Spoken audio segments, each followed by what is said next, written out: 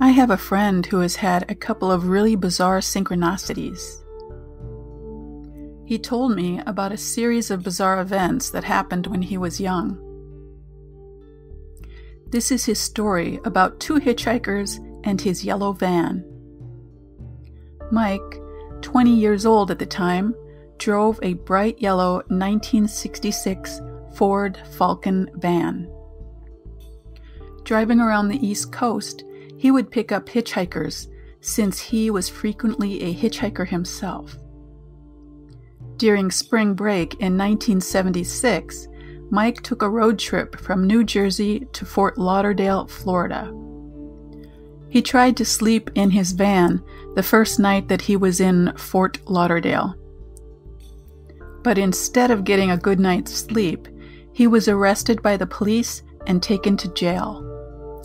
He didn't realize it, but it was illegal to sleep in a vehicle in this city. When he was released in the morning, he met a guy named Windsong out in front of the jail. Windsong was also in jail for sleeping in a public place.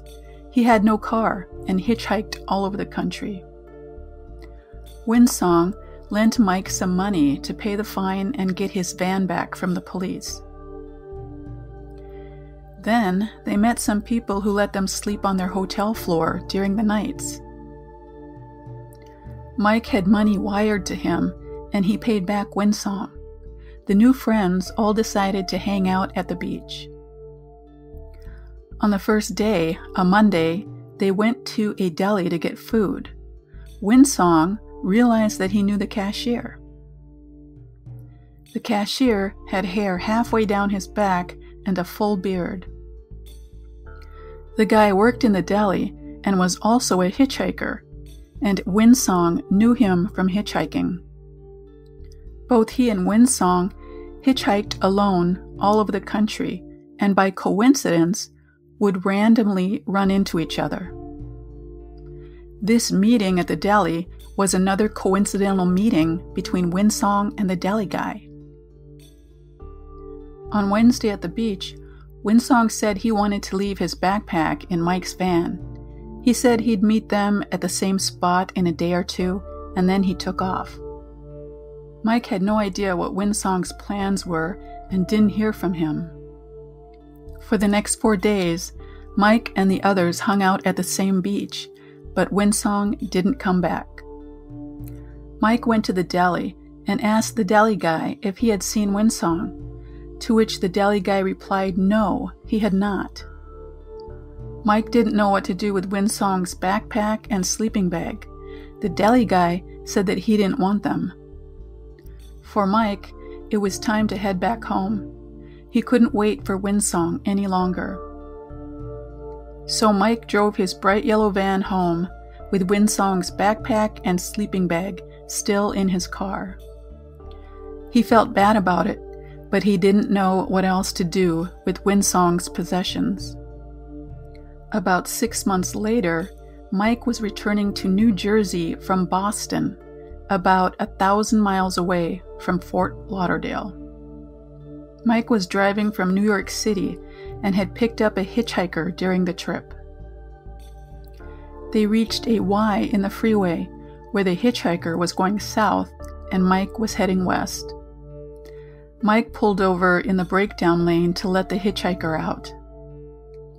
They had been in the middle of a conversation and continued talking for a minute or two after stopping. After they finished their conversation, the hitchhiker got out and crossed the freeway.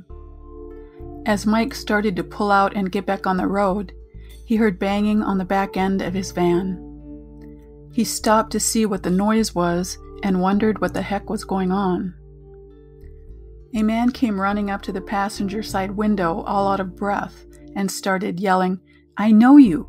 I know you from the deli in Fort Lauderdale. It was the deli guy, Windsong's hitchhiker buddy, from the Fort Lauderdale trip. Mike didn't recognize him at all, as he had cut off his long hair and facial hair. He looked clean shaven. Mike was utterly surprised to see him and told him to hop in.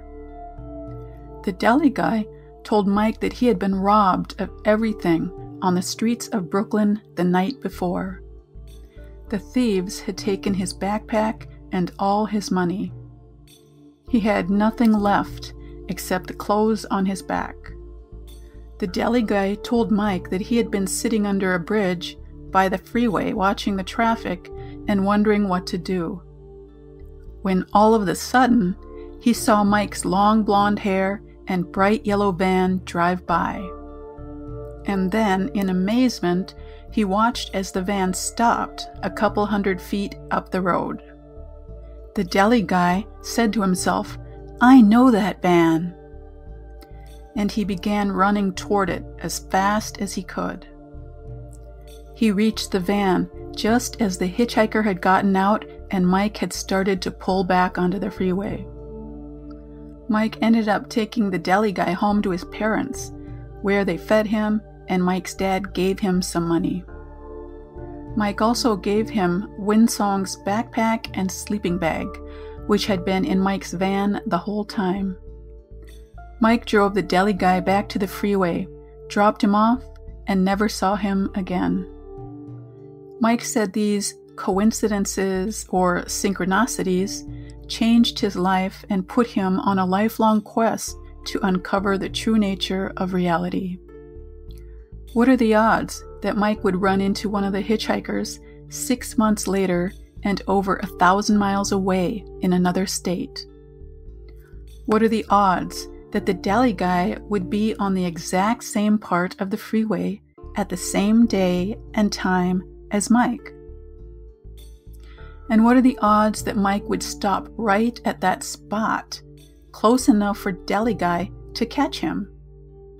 I think the odds are astronomical, if not impossible, and yet it happened. What do you think? Have you had any amazing synchronicities or strange coincidences that have made you question reality? I would love to hear about them in the comments or send me an email. Like, comment, and subscribe if you like this content and want to see more. And as always, have a fabulous day in this strange paranormal world we live in.